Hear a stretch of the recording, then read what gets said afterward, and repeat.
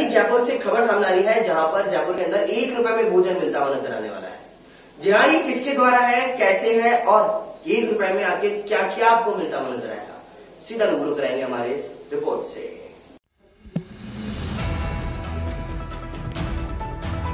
जयपुर में पहली बार लोगों को एक रुपए में भोजन मिलने जा रहा है। इसके लिए कालवा रोड स्थित हाथोज में स्वाभिमान भोज की शुरुआत की गई है। राज्य राज्य बीज निगम लिमिटेड के अध्यक्ष धीरज गुर्जर ने भोजशाला का फीता काट करके उद्घाटन किया। धीरज गुर्जर ने कहा कि जवाहर फाउंडेशन की ओर से यह अच्छी पहल की गई है।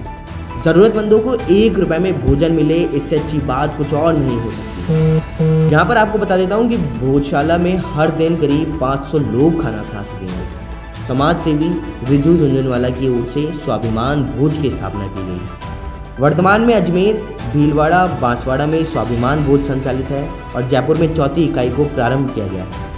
कार्यक्रम में कांग्रेस नेता गोपाल कटारिया राज्य मंत्री राम सिंह राव महेश शर्मा ब्लॉक कांग्रेस अध्यक्ष अशोक शर्मा हाथोज धाम आचार्य बाल मुकुंद आचार्य और अभिनेत्री सुश्री कीर्ति चौधरी सहित अन्य कई लोग उपस्थित थे।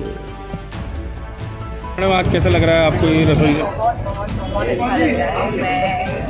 स्वाभिमान भोज मतलब सच में भी स्वाभिमान के साथ लोग अगर एक रुपये देके भोजन कर सकते हैं तो उससे ज़्यादा अच्छा कुछ नहीं हो सकता, खासकर आज के टाइम में जहाँ भोजन से लेकर हर चीज़ इतनी महँगी है। मैं स्पेशली जवाहर फाउंडेशन के फाउंडर रितु झुंझुनवाला जी को तो थैंक यू करना चाहती हूँ कि उन्होंने एक बहुत अच्छी योजना स्टार्ट की है।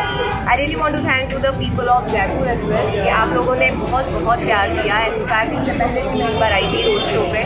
गंगापुर के विधानसभा रोड शो पे, और बहुत बहुत अच्छा लगा था। मैं आभारी हूँ। रजनीश जी, तरुण जी रिजू झुंझुनवाला जी के कि मुझे यहाँ बुलाकर उन्होंने इतना सम्मान और इतना आभार दिया। थैंक यू और लालचंद कटारिया जी की इच्छा शक्ति के चलते आज इस विधानसभा क्षेत्र में एलएनजे ग्रुप के द्वारा अपना सामाजिक सरोकार निभाते हुए जो स्वाभिमान रसोई का उद्घाटन हुआ है। उसमें हम सब लोग साक्षी बने हैं और हनुमान जी महाराज के आशीर्वाद से मात्र एक रुपये में लोगों को भरपेट भोजन मिलेगा। ये अपने आप में एक ऐतिहासिक योजना है और राजस्थान में किसी भी औद्योगिक ग्रुप के द्वारा शुरू किया गया पहला प्रयास है। इस प्रयास के लिए मैं जवाहर फाउंडेशन के माध्यम से एलएनजे ग्रुप को ऋतु झुंझुनवाला जी को और रजनीश जी को बहुत बहुत धन्यवाद और साधुवाद देता हूँ। और खास करके हमारे मित्र और राजस्थान सरकार के मंत्री लालचंद कटारिया जी ने जो इच्छा शक्ति दिखाई उसी का परिणाम है कि उनके विधानसभा क्षेत्र में ये कार्य प्रारंभ हो पाया। ये कितने दिन से चलेगी?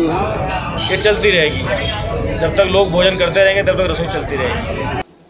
फ़िलहाल देश में दुनिया की तमाम बड़ी खबरों के लिए इतना ही। बने रही न्यूज़ नाइनटीन के साथ। नमस्कार।